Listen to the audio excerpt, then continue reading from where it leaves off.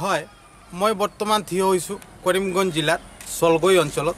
আৰু আমাৰ পিছফালে দেখিছে আপোনালোকে এখন জনস্বাস্থ্য কাৰিকৰী বিভাগৰ বিশুদ্ধ পানীয় জল প্ৰকল্প আৰু এই প্ৰকল্পখন দীৰ্ঘ দুবছৰ ধৰি বন্ধ আছে।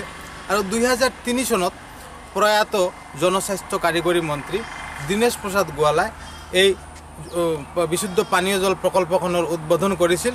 কিন্তু বৰ্তমানে এই অঞ্চলৰ হেজাৰ হেজাৰ ৰাইজ বিশুদ্ধ খোৱা পানীৰ পৰা বঞ্চিত আছে আৰু আমাৰ লগত বৰ্তমান আছে স্থানীয় ৰাইজ। আমি তেওঁলোকৰ ভাষ্য ল'বলৈ যত্ন কৰিম। আৰু কিমান দিন ধৰি বন্ধ আছে এই বছৰত দুই বছর হুম? দুই বছর দুই বছর থেকে বন্ধ আছে? দুই বছর বন্ধ বন্ধ আছে। তো আপনারা কাউকে জানিয়েছেন ব্যাপারটা? আমরা তো আর কি এসডিওকে জানিয়েছি এমএলএকে জানিয়েছি। কেন কি কি বলেছে ওরা? ওরা বলেছে হবে হবে হয় নাই। আপনি কি মনে করেন কেন বন্ধ আছে এটা?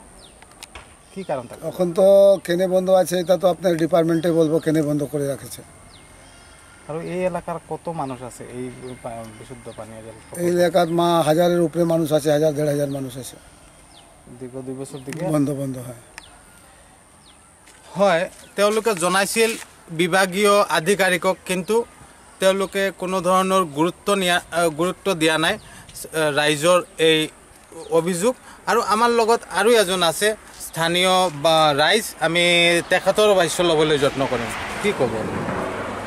আজি দুই বছৰ হৈ গ'ল। টেংকিটোৰ ইমান বেয়া অৱস্থা। এইটো আপুনিতো দেখিছে সাংবাদিক হৈ আপুনি।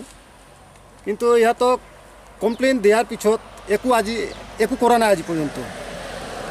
আমালোকে এই নদী আছে নদীৰ নোংৰা পানী খাই থাকোঁ। মানুহবিলাক অসুস্থ হৈ থাকে।